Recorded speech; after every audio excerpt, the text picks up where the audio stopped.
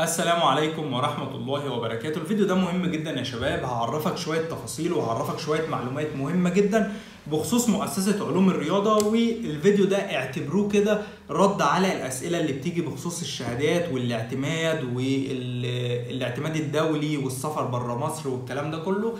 اعتبر الفيديو ده رد للكلام ده والفيديو ده مهم جدا ليك وهيفيدك جدا لما تيجي تاخد دورات تدريبية وتعرف الفرق والكلام ده كله. أول حاجة يا شباب مؤسسة علوم الرياضة هي مؤسسة زيها زي أي أكاديمية أو جمعيه أو مؤسسة مختصة ومرخصة في الدورات التدريبية في المجال الرياضي. تمام كده؟ تمام. طيب إيه لما تيجي أنت تسألني معتمدة ولا لأ طبعا هي معتمدة. ليه معتمدة؟ لأن أنت دلوقتي إيه مرخص ومسجل إن أنت شغلك في الدورات التدريبية في المجال الرياضي. فانت لما تيجي تسأل انت معتمد ولا لا هقول لك معتمد وادي الأوراق المعتمدة من الجهات الحكومية اللي بتقول الكلام ده. تمام؟ طيب السؤال يبقى إزاي؟ السؤال يبقى على درجة الاعتماد بتاعك. تمام؟ ده لو انت بتتكلم على شهادة لكن إحنا هنتكلم على نقطة تانية دلوقتي ان أنا هقول لك ان المفروض ان انت تبقى مهتم بالمادة العلمية أكتر من الشهادة لأن المادة العلمية هي اللي هتشغلك.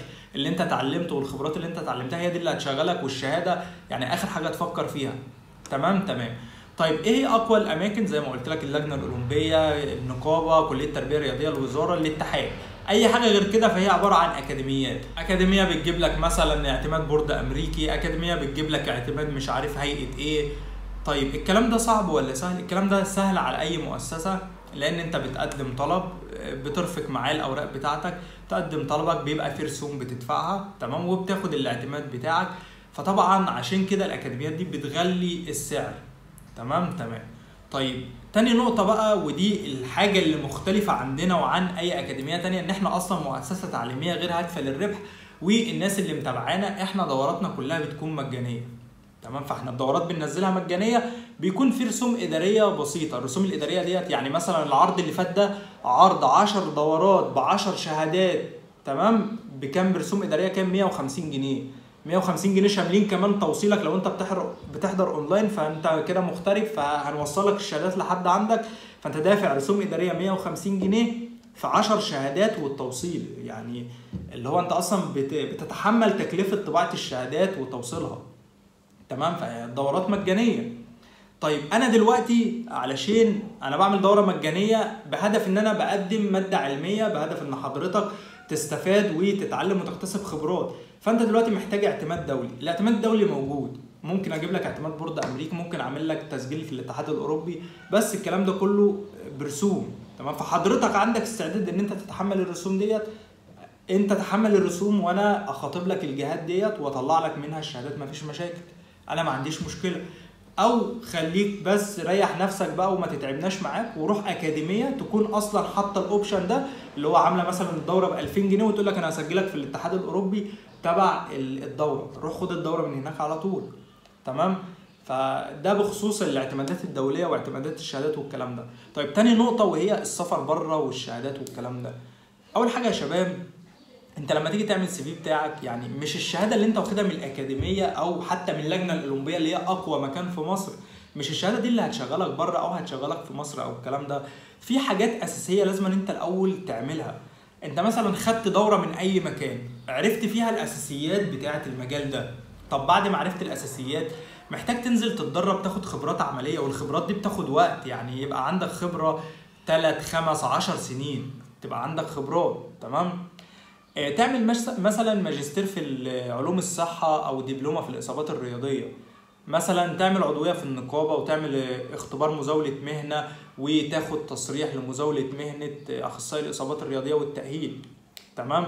دي كلها حاجات أساسية المفروض أنت يعني تكون عاملها قبل ما تفكر في في الشهادة. لكن اللي أنا بشوفه ده يعني تفكير غلط خالص. إن أنا بلاقي مثلا حد طالب في سنة أولى أو سنة تانية جاي ياخد دورة. تمام؟ يعني الدورة مجانية ماشي؟ دورة مجانية وفي أغلب الأحيان بيكون واخد الشهادة مجاني حتى كمان مش دافع رسوم إدارية. وبلاقيه بيسألني أنا الشهادة دي هتسفرني بره مصر. يعني الموضوع يا جماعة مش كده. الموضوع إن أنت دلوقتي خبرتك إيه؟ مؤهلاتك العلمية إيه؟ معاك ماجستير معاك دكتوراه معاك بكالوريوس بس معاك تصريح مزاوله مزاولة مهنة. خبرتك اشتغلت كام سنة؟ وبعد كده أبقى أفكر بقى في شهادة الدورة والكلام ده كله. يعني أنا عايز أقول لك حاجة تمام؟ إن أنت أصلا لو معاك ماجستير في الإصابات الرياضية والتأهيل أو معاك ماجستير معلش في علوم الصحة يعني مش محتاج إن أنت تاخد الدورات دي كلها أصلا. ليه؟ أنت لمدة سنتين كاملين بتبحث تمام؟ وبتعمل دراساتك وبتظبط دنيتك. فأنت بتعرف يعني مش عايز أقول لك الدورة اللي أنت بتاخدها في أسبوع ديت أنت بتاخد الماجستير في سنتين أو ثلاث سنين تمام؟ بتاخد خبرات عملية بتنزل تشتغل عملي بالثلاث والأربع والخمس سنين. فالدورة اللي هي من أسبوع ديت هي اللي بقى اللي هتديك المادة العلمية وهي اللي هتشغلك بره مصر والكلام ده. فأنت التفكير ده غلط يا جماعة التفكير ده يتشال من دماغك خالص. أنت رايح تاخد دورة روح خدها علشان تستفيد وتتعلم. طيب أنت دلوقتي بتاخد دورة مجانية فأنت ما تبقاش رخم بقى وتسأل اعتماد دولي واسافر بره والكلام ده. لكن لو أنت بتدفع مبلغ لا اسأل طالما أنت بتدفع مبلغ. يعني أنت مثلا هتدفع مبلغ 2000 جنيه في أكاديمية فأنت لما تسأل هتعرف درجات الاعتماد فهتقول لا بدل ما أدفع 2000 في أكاديمية أنا أروح أدفع 1600 جنيه في اللجنة الأولمبية. واللجنة الأولمبية ديت مكان معتمد محليا ومعتمد دوليا ومعتمد في 210 دولة وكمان هتستفاد مادة علمية قوية. تمام؟ تمام. فهو السؤال يبقى كده. وده من حيث الاعتمادات الدولية والكلام ده كله. بس كده الموضوع سهل وبسيط خالص يا شباب. انت عايز تاخد دورة مثلا من يعني اي مؤسسة أو اي جمعية أو اي حاجة خد تمام؟ وتعلم واستفاد وطور من نفسك حتى لو هتعرف معلومة واحدة جديدة بس مفيش مشاكل خالص.